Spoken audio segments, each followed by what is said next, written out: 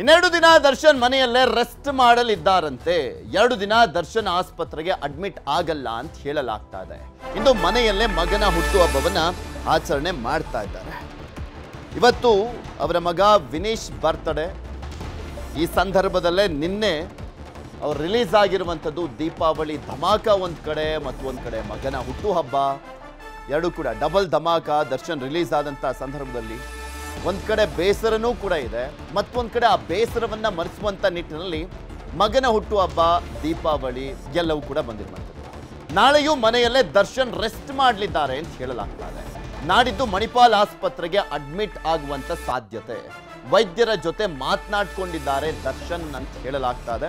ಹಬ್ಬ ಇರೋದ್ರಿಂದ ಎರಡು ದಿನ ಡಾಕ್ಟರ್ ಸಿಗೋದು ಡೌಟ್ ಅಂತ ಆ ಕಾರಣಕ್ಕೋಸ್ಕರ. ಆಕ್ಚುಲಿ ದರ್ಶನ್ಗೆ ಟ್ರೀಟ್ಮೆಂಟ್ ಅಂದ್ರೆ ಬಂದೇ ಬರ್ತಾರೆ. ದರ್ಶನ್ ಟ್ರೀಟ್ಮೆಂಟ್ ಕೊಡಬೇಕಪ್ಪ ಅಂತ ಹೇಳಿದ್ರೆ ಯಾವ ಡಾಕ್ಟರ್ ಬರಲ್ಲ ಹೇಳಿ. ಆದರೆ ಅದೊಂದು ರೀಸನ್ ಹಬ್ಬ ಇರೋದ್ರಿಂದ ಎರಡು ದಿನ ಡಾಕ್ಟರ್ ಸಿಗೋದು ಡೌಟ್ ಅನ್ನುವಂಥ ಒಂದು ರೀಸನ್ ಅಷ್ಟೇ ಅದು. ದರ್ಶನ್ ಟ್ರೀಟ್ಮೆಂಟ್ ಬೇಕು, ಅವ್ರಿಗೆ ತುಂಬ ಅನಿವಾರ್ಯ, ಆಗದೇ ಇಲ್ಲ, ಓಡಾಡೋಕ್ಕೆ ಆಗಲ್ಲ, ನಡೆಯೋಕ್ಕಾಗಲ್ಲ, ಕುತ್ಕೊಳ್ಳೋಕ್ಕಾಗಲ್ಲ, ಮಲ್ಗೋಕ್ಕಾಗಲ್ಲ ಅಂದರೆ ಯಾವ ಡಾಕ್ಟ್ರು ತಾನೇ ತನ್ನ ಜವಾಬ್ದಾರಿಯನ್ನು ಮರ್ತುಬಿಟ್ಟು ಬರ್ದಲ್ಲೇ ಇರ್ತಾರೆ. ಬರ್ತಾರೆ. ಆದರೆ, ಓಕೆ, ಅದೊಂದು ಕಾರಣ ಸಿಗ್ತಾ ಇದೆ. ಅವರಿಷ್ಟ, ಆದರೆ ಒಂದು ವಾರದ ಒಳಗಡೆ ದರ್ಶನ್ ಕೋರ್ಟ್ಗೆ ತನ್ನ ಹೆಲ್ತ್ ರಿಪೋರ್ಟನ್ನು ಸಲ್ಲಿಸಬೇಕು. ಯಾವ ರೀತಿಯಾದಂಥ ಚಿಕಿತ್ಸೆ, ಎಷ್ಟು ದಿನ ಬೇಕು, ಇದೆಲ್ಲದ್ರ ಬಗ್ಗೆನೂ ಕೂಡ ರಿಪೋರ್ಟ್ ಕೊಡಬೇಕಾಗಿದೆ ಕೋರ್ಟ್ಗೆ. ಸೊ ಹೀಗಾಗಿ ಒಂದು ವಾರದ ಒಳಗಂತೂ ಅಡ್ಮಿಟ್ ಆಗಲೇಬೇಕು. ಓಕೆ ಈಗ ಎರಡು ದಿನ ರೆಸ್ಟ್ ಆಗ್ಬೋದು. ಆದರೆ ಒಂದು ವಾರದ ಒಳಗಾಗಿ ರಿಪೋರ್ಟನ್ನು ಕೊಡಬೇಕಾಗಿದೆ.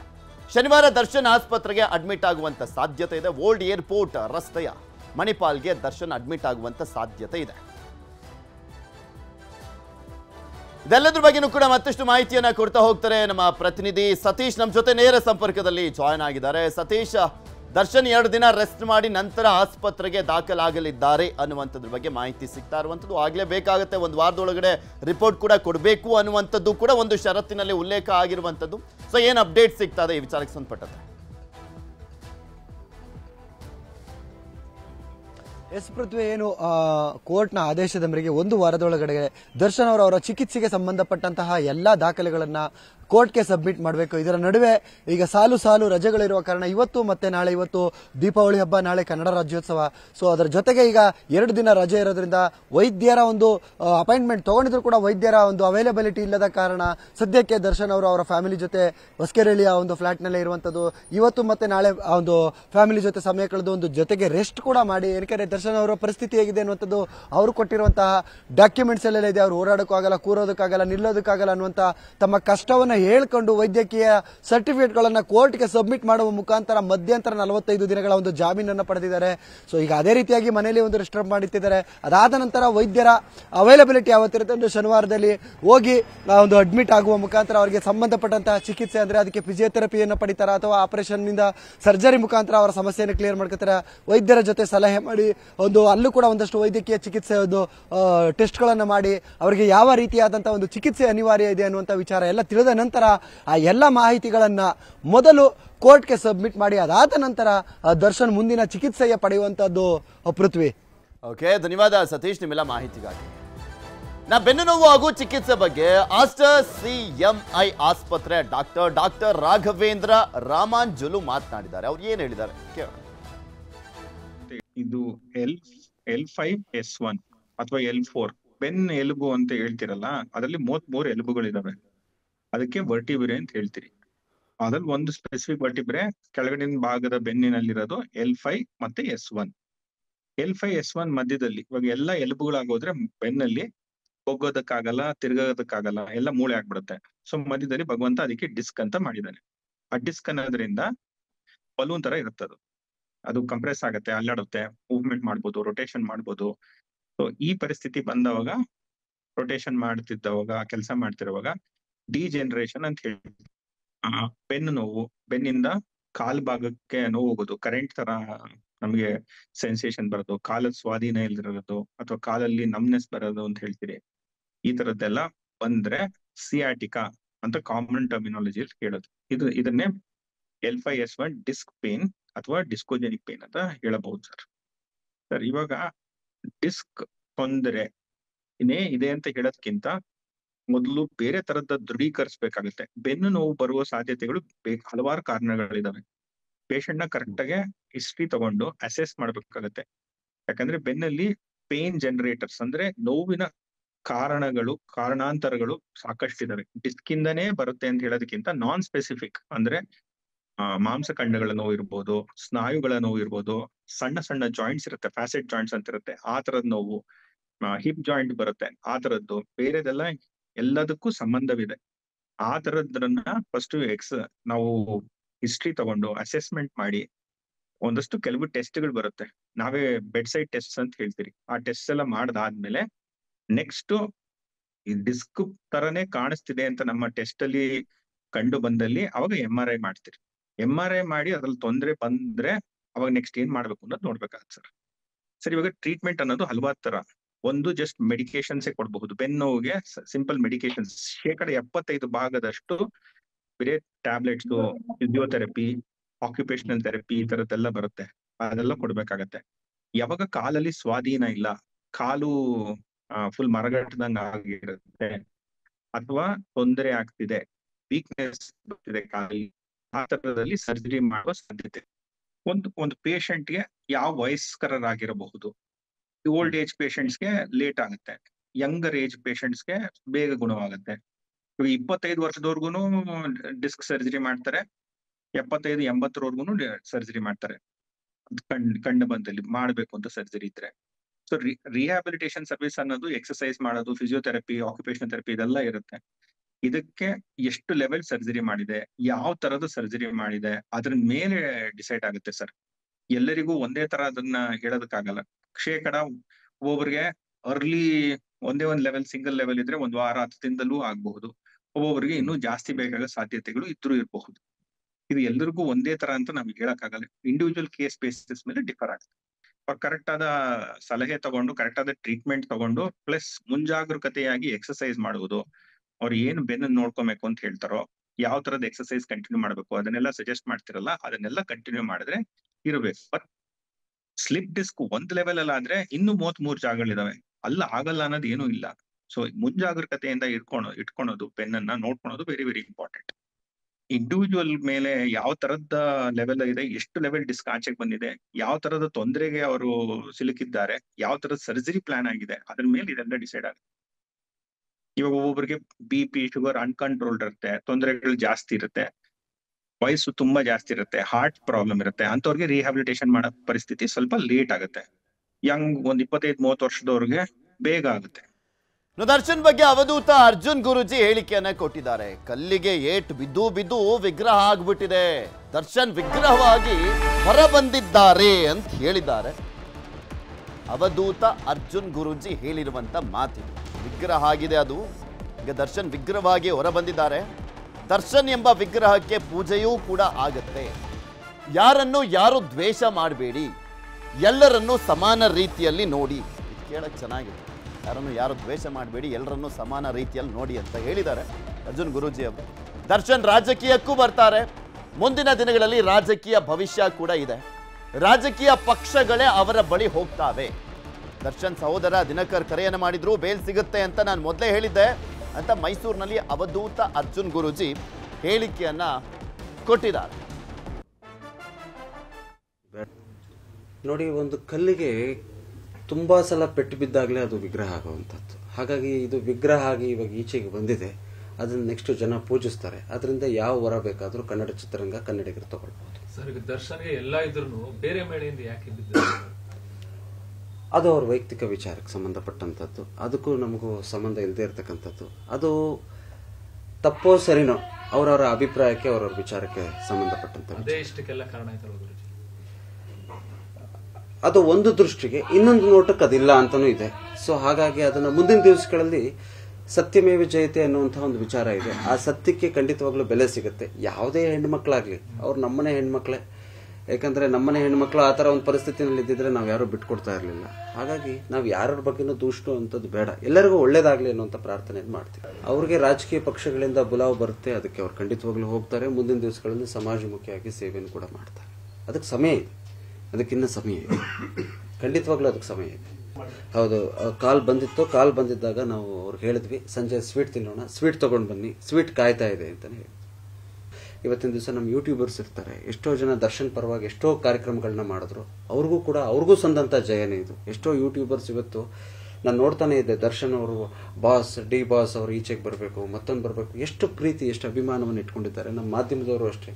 ಅವ್ರ ಬಗ್ಗೆ ಇಂಚಿಂಚನ್ನು ತೋರಿಸ್ತಾ ಇದ್ರು. ಹಾಗಾಗಿ ಈ ಎಲ್ಲ ಒಂದು ಪ್ರೀತಿ, ವಿಶ್ವಾಸ ಮೊದಲು ದರ್ಶನ್ ಅವರು ಅಂಥವ್ರಿಗೆ ಸಿಗಬೇಕು. ನಮ್ಮ ಯೂಟ್ಯೂಬರ್ಸ್ಗೆ ಸಿಗಬೇಕು, ನಮ್ಮ ಮಾಧ್ಯಮದವ್ರಿಗೆ ಸಿಗಬೇಕು. ನಮ್ಮ ಹತ್ರ ಬರಬೇಕು ಅನ್ನೋಂಥದ್ದಿಲ್ಲ ಅವರು ಚೆನ್ನಾಗಿ ಆಗಲಿ ಅವ್ರ ಕುಟುಂಬ ಚೆನ್ನಾಗಿರಲಿ ಅವರಿಂದ ಇನ್ನು ನಾಲ್ಕೈದು ಒಳ್ಳೆ ಕೆಲಸಗಳಾಗಲಿ ಅನ್ನೋಂಥದ್ದು ನನ್ನ ಪ್ರಾರ್ಥನೆ.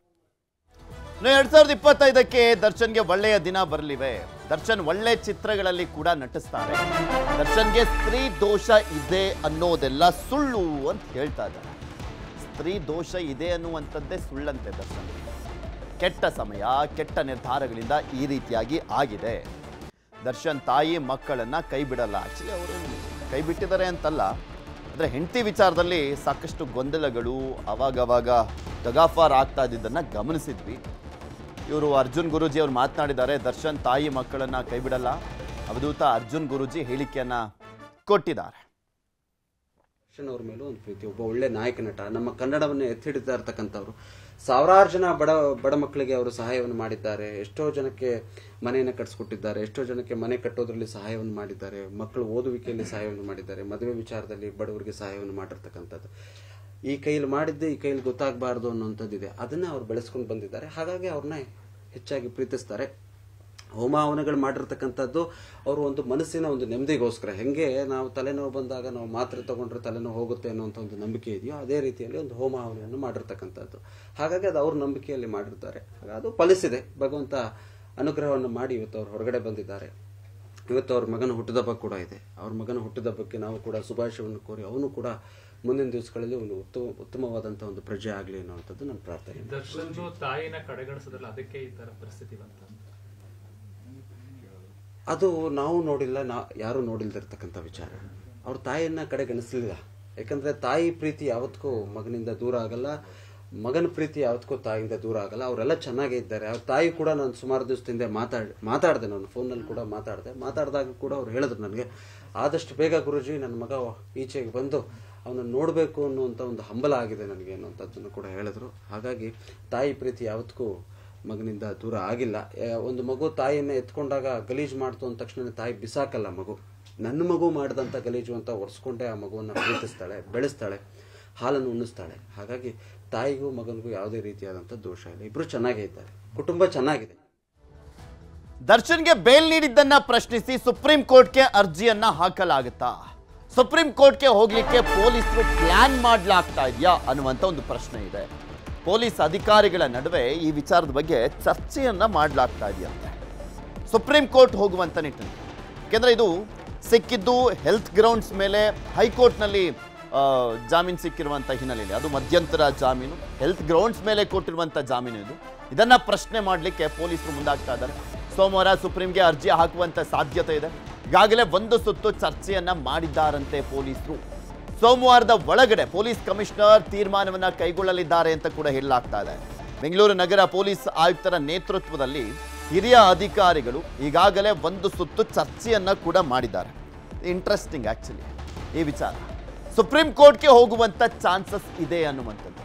ಆ್ಯಕ್ಚುಲಿ ನಾವು ಹಿಂದೆ ಸಿ ಐ ಡಿ ಒಂದು ಪ್ರಕರಣದ ತನಿಖೆಯನ್ನು ಮಾಡಬೇಕಾದ್ರೆ, ಅದು ಪ್ರಜ್ವಲ್ ರೇವಣ್ಣ ಅವರ ವಿಚಾರಕ್ಕೆ ಸಂಬಂಧಪಟ್ಟಂತೆ ನಿರೀಕ್ಷಣಾ ಜಾಮೀನನ್ನು ಕೊಡಲಾಗಿತ್ತು. ಭವಾನಿ ರೇವಣ್ಣ ಅವರಿಗೆ ಅದಾದ್ಮೇಲೆ ಸುಪ್ರೀಂ ಕೋರ್ಟ್ಗೆ ಅರ್ಜಿಯನ್ನು ಹಾಕಲಾಗಿತ್ತು. ಅದಾದಮೇಲೂ ಕೂಡ ಅವರಿಗೆ ನಿರೀಕ್ಷಣಾ ಜಾಮೀನು ಕಂಟಿನ್ಯೂ ಆಯಿತು ಭವಾನಿ ರೇವಣ್ಣ ಅವರ ವಿಚಾರದಲ್ಲಿ.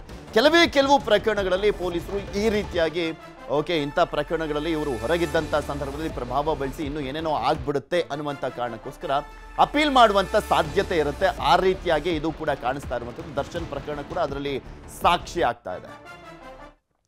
ಇದ್ರ ಬಗ್ಗೆ ಮತ್ತಷ್ಟು ಮಾಹಿತಿಯನ್ನ ಕೊಡ್ತಾ ಹೋಗ್ತಾರೆ. ನಮ್ಮ ಪ್ರತಿನಿಧಿ ಮಂಜುನಾಥ್ ನಮ್ಮ ಜೊತೆ ನೇರ ಸಂಪರ್ಕದಲ್ಲಿ ಜಾಯ್ನ್ ಆಗ್ತಾ ಇದ್ದಾರೆ ಮಂಜು ನೋಡ್ತಾ ಇದೀವಿ, ಒಂಥರ ಇಂಟ್ರೆಸ್ಟಿಂಗ್ ಬರ್ತಾ ಇದೆ. ಮತ್ತಷ್ಟು ಕುತೂಹಲ ಕೆಡೆ ಮಾಡ್ಕೊಡ್ತಾ ಇರುವಂತದ್ದು ಪೊಲೀಸರ ನಡೆ. ನಿಜಕ್ಕೂ ಕೂಡ ಸುಪ್ರೀಂ ಕೋರ್ಟ್ಗೆ ಅಪೀಲ್ ಹೋಗುವಂತ ಸಾಧ್ಯತೆ ಇದೆಯಾ? ಮೋಸ್ಟ್ ಪ್ರಾಬಲಿ ಇದುವರೆಗೂ ಈ ರೀತಿಯಾದಂಥ ಒಂದು ಪ್ರಕರಣಗಳು ನಡೆದಂಥ ಸಂದರ್ಭದಲ್ಲಿ ತುಂಬಾ ರೇರಲ್ಲಿ ರೇರೆಸ್ಟ್ ಅಂತ ಕಾಣಿಸುತ್ತೆ. ಸುಪ್ರೀಂ ಕೋರ್ಟ್ಗೆ ಅಪೀಲ್ ಹಾಕಿ ಇವರಿಗೆ ಜಾಮೀನು ಬೇಡ ಅನ್ನುವಂಥದ್ರ ಬಗ್ಗೆ ವಾದ ಮಾಡಿರುವಂಥದ್ದು ಪೊಲೀಸ್ ಇಲಾಖೆ.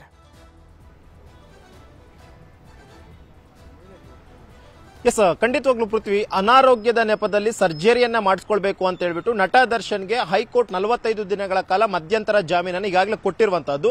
ನಿನ್ನೆ ನಟ ದರ್ಶನ್ ಕೂಡ ಅಷ್ಟೇ ಬಳ್ಳಾರಿ ಜೈಲಿನಿಂದ ಈಗಾಗಲೇ ರಿಲೀಸ್ ಆಗಿಬಿಟ್ಟು ಈಗಾಗಲೇ ಬಂದು ವಿಜಯಲಕ್ಷ್ಮಿ ಅಪಾರ್ಟ್ಮೆಂಟ್ನಲ್ಲಿ ಅವರು ಈಗಾಗಲೇ ಇದ್ದಾರೆ.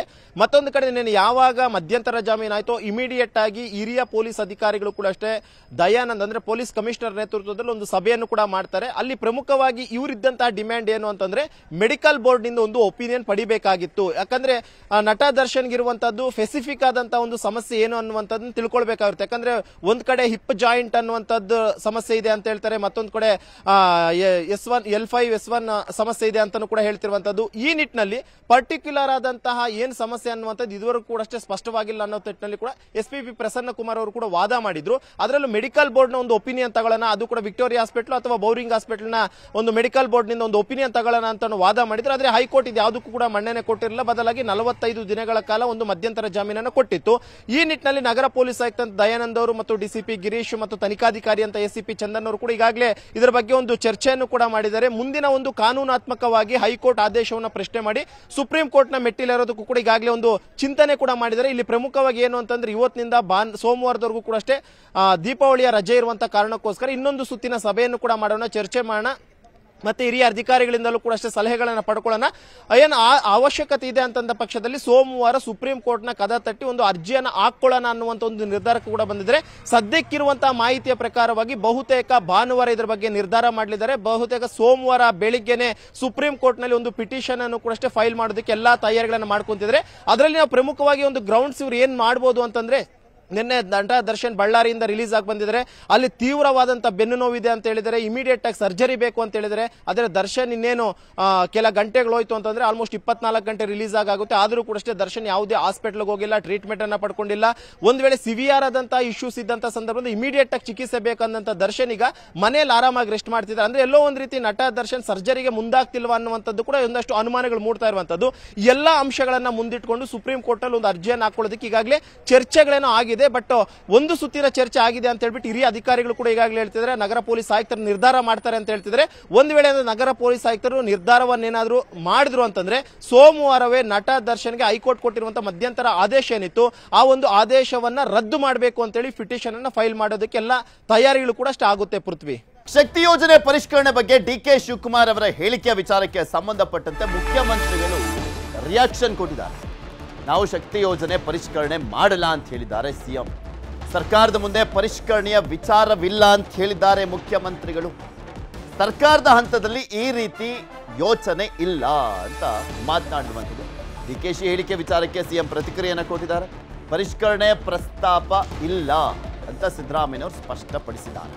ಶಕ್ತಿ ಯೋಜನೆಯ ವಿಚಾರಕ್ಕೆ ಸಂಬಂಧಪಟ್ಟಂತೆ ಶಕ್ತಿ ಯೋಜನೆ ಪರಿಷ್ಕರಣೆ ಮಾಡುವಂಥದ್ರ ಬಗ್ಗೆ ನಾವು ಚರ್ಚೆ ಮಾಡ್ತೀವಿ ಬಿಕಾಸ್ ಟ್ವೀಟ್ಗಳನ್ನು ಮಾಡಲಾಗ್ತದೆ ಮೆಸೇಜ್ಗಳನ್ನು ಮಾಡಲಾಗ್ತದೆ ಮೇಲ್ಗಳನ್ನು ಮಾಡಲಾಗ್ತದೆ. ಅದ್ರ ಬಗ್ಗೆ ನಾವು ಕೂತ್ಕೊಂಡು ಚರ್ಚೆ ಮಾಡ್ತೀವಿ ಅಂತ ಹೇಳಿದ್ರು ಉಪಮುಖ್ಯಮಂತ್ರಿಗಳು. ಅದ್ಯಾವುದೇ ರೀತಿಯಾದಂಥ ಪ್ರಸ್ತಾಪ ಇಲ್ಲ ಅಂತ ಹೇಳಿದ್ರು ಮುಖ್ಯಮಂತ್ರಿಗಳು. ಸುಮಾರು ಏಳೂರಿಂದ ಎಂಟು ಕೋಟಿ ರೂಪಾಯಿ ಹಣ ಈಗಾಗಲೇ ನಾವು K S R T C ನಮ್ಮ ಶಕ್ತಿ ಯೋಜನೆಯಲ್ಲಿ ಏನು ಪ್ರಯಾಣ ಮಾಡ್ತಾ ಇದ್ದಾರೆ. ಆ ಹೆಣ್ಮಕ್ಳದ ಪ್ರಯಾಣವನ್ನ ಸರ್ಕಾರಕ್ಕೆ ಕೊಟ್ಟಿದ್ದೇವೆ. So K S R T C ಸರ್ಕಾರ ಬಿಡುಗಡೆ ಮಾಡಿದೆ. ಕೆಲವರು ಹೇಳ್ತಾ ಇದ್ದಾರೆ, ನಾವೇನ್ ಕೇಳಿರಲಿಲ್ಲ, ನಾವು ಕೊಡಕ್ ಶಕ್ತಿ ಇತ್ತು ಅನ್ನೋದು ಕೂಡ ಬಹಳ ಜನ ನನಗೆ ಟ್ವೀಟ್ ಮಾಡಿದ್ದಾರೆ. ಬಹಳ ಜನ ನನಗೆ ಮೇಲ್ ಕಳಿಸಿದ್ದಾರೆ, ಟ್ವೀಟ್ ಮಾಡಿದ್ದಾರೆ. ನಮಗೆ ದೇವ್ರ ಶಕ್ತಿ ಕೊಟ್ಟಿದ್ದಾರೆ, ಬೇಕಾದ್ರೆ we are ready to pay bus charge ನಾವು ಕೊಡಕ್ ತಯಾರಿದ್ದೇವೆ. ಆದ್ರೂ ನಿಮ್ ಕಂಡಕ್ಟರ್ ತಗೋತಾ ಇಲ್ಲ ಅಂತ ಕೂಡ ಕೆಲವರೆಲ್ಲ ಹೇಳಿದ್ದಾರೆ. ಅದನ್ನ ನೋಡೋಣ, ಕೂತ್ಕೊಂಡು ನಾವೆಲ್ಲ ಚರ್ಚೆ ಮಾಡ್ತೀವಿ. ಅದು ಒಂದು ವರ್ಗ, ಒಂದು ಐದು ಪರ್ಸೆಂಟ್ ಸಿಗ್ಬೋದು ಆ ರೀತಿ. ನೋಡೋಣ ಕೆಲವರು ಬಹಳ ಪ್ರಾಮಾಣಿಕವಾಗಿ ಎಕ್ಸ್ಪ್ರೆಸ್ ಮಾಡ್ತಾ ಇದ್ದಾರೆ. ನಾವು ರೆಡಿ ಕುಯ್ದಿವೆ ಕೊಡಕ್ಕೆ ನಮ್ಗೇನು ಸಮಸ್ಯೆ ಇಲ್ಲ ಅಂತ ಹೇಳಿ ಹೇಳ್ತಾ ಇದ್ದಾರೆ. ನಾವು ರಾಮಲಿಂಗಾರೆಡ್ಡಿ ಅವರೆಲ್ಲ ಸರ್ಕಾರದಲ್ಲಿ ಕೂತ್ಕೊಂಡು ಅದಕ್ಕೆ ಏನ್ ಮಾಡಬೇಕು ಅಂತ ತೀರ್ಮಾನ ಮಾಡ್ತೇವೆ. ಶಕ್ತಿ ಯೋಜನೆಗೆ ಸಂಬಂಧಪಟ್ಟಂಗೆ ಪರಿಷ್ಕರಣೆ ಮಾಡಬಹುದು ಸರ್ಕಾರದ ಮುಂದೆ ಇಲ್ಲ ಕೆಲವು ಮಹಿಳೆಯರು ಹೇಳ್ತಿದ್ದಾರೆ ಅಂತ ಹೇಳಿದ್ದಾರೆ. ನನಗೆ ಗೊತ್ತಿಲ್ಲ. ಐ ವಾಸ್ ನಾಟ್ ದೇರ್ ಗೊತ್ತಿಲ್ಲ ನಾನು ಮಾತಾಡ್ತೀನಿ. ಅಲ್ಲ ಪರಿಷ್ಕರಣೆ ಮಾಡೋ ಸರ್ಕಾರದ ಹಂತದಲ್ಲಿ ಏನಾದ್ರು ಇಲ್ಲಪ್ಪ. ಇಲ್ಲ ಅಂತ ಹೇಳಿದ್ರು ನಿನಗೆ ನಂಬಿಕೆ ಇಲ್ವಾ? ಸರ್ಕಾರದ ಹಂತದಲ್ಲಿ ಪರಿಷ್ಕರಣೆ ಮಾಡ್ತಕ್ಕಂಥ ಪರಿಸ್ಥಿತಿ ಇಲ್ಲ.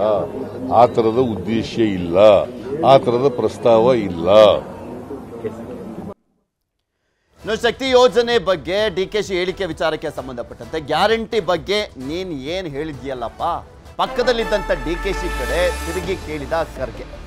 ಇನ್ನೇನು ಹೇಳಿದ್ಯಲ್ಲಪ್ಪ ಅಂತ ಡಿ ಕೆ ಶಿವಕುಮಾರ್ ಅವರ ಕಡೆ ತಿರುಗಿ ಕೇಳಿದ್ರಂತೆ ಖರ್ಗೆ ಅವರು. ಏನೋ ಹೇಳಿದ್ಯಲ್ಲಪ್ಪ ಅಂತ. ಏನು ಹೇಳಿದೆ ಅಂತ. ನಾನು ಏನು ಹೇಳಿಲ್ಲ ಅಂತ ಕೈ ಸನ್ನೆ ಮಾಡಿದ್ರಂತೆ ಡಿ ಕೆ ಶಿವಕುಮಾರ್. ನೀನು ಪೇಪರ್ ನೋಡಿಲ್ವಪ್ಪ? ನಾನು ನೋಡ್ತೇನೆ, ಪೇಪರ್ನಲ್ಲಿ ನೀನು ಹೇಳಿದೆ ಅಂತ ಬಂದಿದೆ ಅಂತ ಹೇಳಿದ್ದಾರೆ ಖರ್ಗೆ ಅವರು. ಡಿ ಕೆ ಶಿ ಕಡೆ ತಿರುಗಿ ಹೇಳಿರುವಂಥದ್ದು ಮಲ್ಲಿಕಾರ್ಜುನ್ ಖರ್ಗೆ. ಬಜೆಟ್ನಲ್ಲಿ ಏನಿದೆ ಅದರಂತೆ ಗ್ಯಾರಂಟಿ ಕೊಡಿ, ಸಿ ಎಂ, ಡಿ ಸಿ ಎಂಗೆ ಮಲ್ಲಿಕಾರ್ಜುನ್ ಖರ್ಗೆ ಸೂಚನೆಯನ್ನು ಕೊಟ್ಟಿದ್ದಾರೆ. ಡಿ ಕೆ ಶಿ ಅವರನ್ನ ಪ್ರಶ್ನೆ ಮಾಡಿದ್ದಾರೆ ಸಂದರ್ಭದಲ್ಲಿ. ಇಲ್ಲಿ ಪ್ರಮುಖವಾಗಿ ಮಲ್ಲಿಕಾರ್ಜುನ್ ಖರ್ಗೆ ಅವರು ಇವತ್ತು ಮಾತನಾಡುವಂಥ ಸಂದರ್ಭದಲ್ಲಿ ಇದೇ ಶಕ್ತಿ ಯೋಜನೆ ಬಗ್ಗೆ ಡಿ ಕೆ ಶಿವಕುಮಾರ್ ಅವರು ಸ್ಟೇಟ್ಮೆಂಟ್ ಕೊಟ್ಟಿದ್ರಲ್ಲ, ಅದ್ರ ಬಗ್ಗೆ ಮಾಧ್ಯಮದವ್ರು ಕೇಳಿದಾಗ, ನೀನೇನೋ ಹೇಳಿದ್ಯಲ್ಲಪ್ಪ ಅಂತ ಕೇಳಿದ್ದಾರೆ ಡಿ ಕೆ ಶಿವಕುಮಾರನ್ನ. ಇಲ್ಲ ಇಲ್ಲ ಅಂತ ಅವ್ರು ಕೈ ಸನ್ನೆ ಮಾಡಿದ್ರಂತೆ. ಇಲ್ಲ, ನಾನು ಪೇಪರ್ ಓದ್ತೀನಿ ಪೇಪರಲ್ಲಿ ಬಂದಿದೆ. ನೋಡಿದ್ದೀನಿ ನೀವು ಹೇಳಿದ್ದನ್ನ. ಅಂದರೆ ಶಕ್ತಿ ಯೋಜನೆ ವಿಚಾರಕ್ಕೆ ಸಂಬಂಧಪಟ್ಟಂತೆ ನಾವು ಏನು ಯೋಜನೆಯನ್ನು ಘೋಷಣೆ ಮಾಡಿದ್ವಿ, ಅದೇ ರೀತಿಯಾಗಿರಲಿ ಅಂತ ಹೇಳಿದಾರಂತೆ.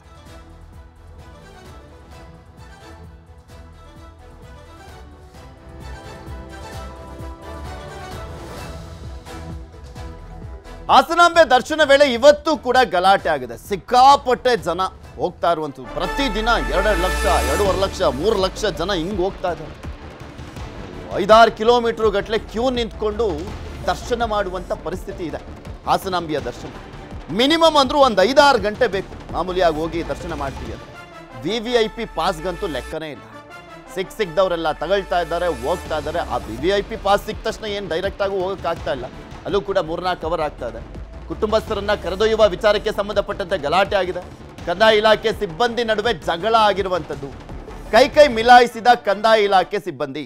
ಗಲಾಟೆ ಬಿಡಿಸಲಿಕ್ಕೆ ಪೊಲೀಸರು ಹರಸಾಹಸ ಪಟ್ಟಿದ್ದಾರೆ. ದೇವಾಲಯದ ಎಕ್ಸಿಟ್ ಗೇಟ್ ಬಳಿ ಈ ಘಟನೆ ನಡೆದಿದೆ. ನೋಡಿ ಹೆಂಗ ಕಿತ್ತಾಡ್ಕೊಂಡಿದ್ದಾರೆ. ಹಾಸನಾಂಬೆ ದರ್ಶನಕ್ಕೆ ಅವರವರ ಕುಟುಂಬದವರು ಗೊತ್ತಿದ್ದಂಥವ್ರನ್ನೆಲ್ಲರ ಅವರು ಒಂದು ಸ್ವಲ್ಪ ಇನ್ಫ್ಲೂಯೆನ್ಸಲ್ಲಿ ಕರ್ಕೊಂಡು ಹೋಗ್ತಾ ಇದ್ರಲ್ಲ, ಈ ಸಂದರ್ಭದಲ್ಲಿ ಗಲಾಟೆ ಆಗಿರುವಂಥದ್ದು. ಪೊಲೀಸರು ಬಿಡಿಸ್ಲಿಕ್ಕೆ ಹರಸಾಹಸ ಪಟ್ಟಿದ್ದಾರೆ. ಕಂದಾಯ ಇಲಾಖೆ ಸಿಬ್ಬಂದಿಯೊಬ್ಬರು ತಮ್ಮ ಕುಟುಂಬದವರನ್ನ ದರ್ಶನಕ್ಕೆ ಕರೆದುಕೊಂಡು ಬಂದಿದ್ರು. ವೇಳೆ ಮತ್ತೋರ್ವ ಸಿಬ್ಬಂದಿ ತಡೆದಿದ್ದಾರೆ. ಈ ಸಂದರ್ಭದಲ್ಲಿ ಗಲಾಟೆ ನಡೆದಿದ್ದು ಜಗಳ ಬಿಡಿಸ್ಲಿಕ್ಕೆ ಪೊಲೀಸರು ಹರಸಾಹಸ ಪಟ್ಟಿರೋದಂತ ನೋಡಿ, ನಿಮ್ಗೆ ತೋರಿಸ್ತಾ. ಮೊನ್ನೆ ಡಿ ಸಿ ಸತ್ಯಭಾಮ ಅವರು ತಮ್ಮ ಪಿ ಎಗೆ, ಪಿ ಎ ಯಾರೋ ಶಶಿ ಅಂತ ಕಾಣಿಸುತ್ತೆ. ಅವ್ರಿಗೆ ತಡೆ ಹೊಡೆದ್ರು ಅಂದ್ಬಿಟ್ಟು ಪೊಲೀಸರು ಮುಂದೆನೆ ಜಗಳ ಕೂಡ ಆಗಿತ್ತು. ಅದಾದ್ಮೇಲೆ ಅಲ್ಲಿ ಡಿ ಸಿ ಸತ್ಯಭಾಮ ವರ್ಸಸ್ ಬೇಲೂರಿನ ಶಾಸಕರಾಗಿರುವಂಥ ಸುರೇಶ್ ಅವರ ನಡುವೆನೂ ಕೂಡ ಗಲಾಟೆ ಆಗಿತ್ತು. ನಾನು ಹೋಗೋದೇ ಇಲ್ಲ ಬಿಡ್ರಿ ಅಂದ್ಬಿಟ್ಟು ಜಗಳ ತೆಕ್ಕೊಂಡು ಕೂತ್ಕೊಂಡ್ರು ಸುರೇಶ್ ಅವರು ಕೂಡ. ಯಾಕಂದ್ರೆ ಯಡಿಯೂರಪ್ಪನವ್ರು ಹೋಗಿದ್ದಂಥ ಸಂದರ್ಭದಲ್ಲಿ ಎಲ್ಲರೂ ಕೂಡ ಹೋಗ್ತಾ ಇದ್ರು ಬಿಜೆಪಿ ನಾಯಕರು. ಆ ಸಂದರ್ಭದಲ್ಲಿ ಪ್ರಶ್ನೆ ಮಾಡಿದ್ರು ಡಿ ಸಿ. ಅವಾಗ ಅವ್ರ ಜೊತೆನೂ ಕೂಡ ಜಗಳ ಆಯಿತು. ಡಿ ಸಿ ಸತ್ಯಭಾಮ ಅವರು ಸುರೇಶ್ ಅವ್ರ ಜೊತೆಗೂ ಕೂಡ ಅಲ್ಲಿ ಜಗಳ ಆದಂಥ ಪ್ರಸಂಗವನ್ನು ನೋಡಿದ್ವಿ. ಅದಾದ್ಮೇಲೆ ಪೊಲೀಸ್ ಇಲಾಖೆಯವರಿಗೂ ಕೂಡ ಎಚ್ಚರಿಕೆಯನ್ನು ಕೊಟ್ಟರು ಇವರು ಪಿ ಎನ ತಡೆದಿದ್ದಕ್ಕೆ ಪಿ ಎ ತಡೆದಿದ್ದಕ್ಕೇನೆ ಫುಲ್ಲು ಅವಾಜ್ ಡಿ ಸಿ ಮೇಡಮ್ ಈಗ ಅವರ ಕಂದಾಯ ಇಲಾಖೆಯ ಅಧಿಕಾರಿಗಳ ಜಗಳ ನೋಡಿ. ರಂಪಾಟ ಮಾಡ್ಕೊಂಡು ಕುತ್ಕೊಂತ ಇದ್ದಾರೆ. ನಾ ಮುಂದು, ತಾ ಮುಂದು ಅಂತ ನನಗೆ ಐ ಇನ್ಫ್ಲೂಯೆನ್ಸು ಅನ್ನೋ ಲೆವೆಲ್ಗೆ ಒಬ್ಬೊಬ್ಬರು ಹತ್ತು ಜನ, ಐದೈದು ಜನ ಕರ್ಕೊಂಡು ಹೋದ್ರೆ ಅಲ್ಲೂ ಕ್ಯೂ ನಿಂತ್ಕೊಂಡಿರ್ತಾರಲ್ಲ, ಪಾಪ ಅವ್ರ ಅವ್ರಿಗಂತೂ ಹೊಟ್ಟೆ ಉರಿತಾ ಇರುತ್ತೆ. ಇಷ್ಟೆಲ್ಲ ಕಾಯ್ತಾ ಇದೀವಿ. ಇವ್ರು ಆರಾಮಾಗಿ ಕರ್ಕೊಂಡು ಹೋಗಿ ಕರ್ಕೊಂಡು ಬರ್ತಾ ಇದಾರಲ್ಲ ಅಂತ.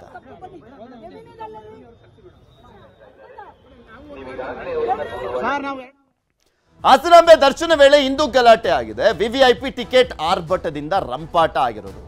ಒಂಬತ್ತು ವಿವಿಐಪಿ ಟಿಕೆಟ್ ಖರೀದಿಸಿ ಬಂದಿದ್ದಾರೆ. ಎಚ್ ಡಿ ರೇವಣ್ಣ ಅವರು. ಒಂಬತ್ತು ವಿವಿಐಪಿ ಟಿಕೆಟ್. ಒಂದು ವಿವಿಐಪಿ ಟಿಕೆಟ್ ಅಲ್ಲಿ ಐದು ಜನ ಹೋಗ್ಬೋದು.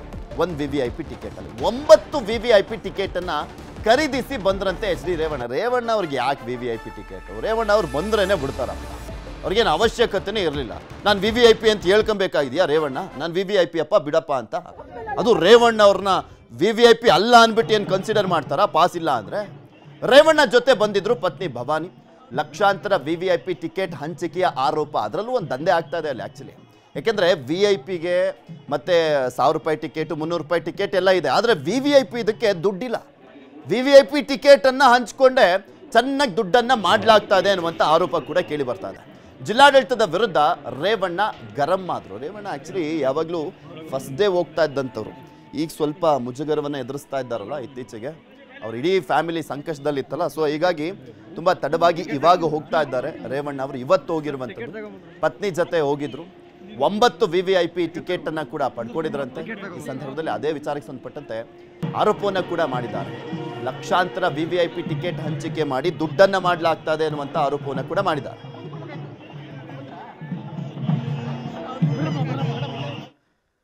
ಹದಿಮೂರು ಜಿಲ್ಲೆಗಳಿಗೆ ವ್ಯಾಪಿಸಿದ ವಕ್ಫ್ ರಾದ್ದಾಂತ ಹಾವೇರಿ ಜಿಲ್ಲೆಗಳಲ್ಲಿ ಕೋಮು ಗಲಭೆ.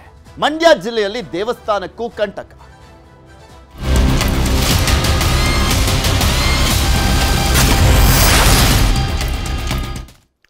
ಇದು ಬರೀ ನಮ್ಮ ರಾಜ್ಯದಲ್ಲಿ ಮಾತ್ರ ಅಲ್ಲ, ದೇಶದಾದ್ಯಂತ ಚರ್ಚೆಯಲ್ಲಿರುವಂಥ ವಿಚಾರ, ವಕ್ಫ, ಆಸ್ತಿಯ ವಿಚಾರಕ್ಕೆ ಸಂಬಂಧಪಟ್ಟಂತೆ ನೋಡ್ತಾನೆ ಇದೀವಿ.